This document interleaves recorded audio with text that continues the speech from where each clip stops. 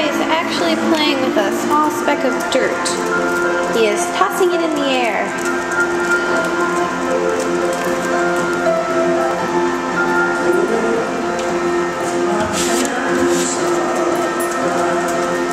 Is that a fun piece of dirt, Levi?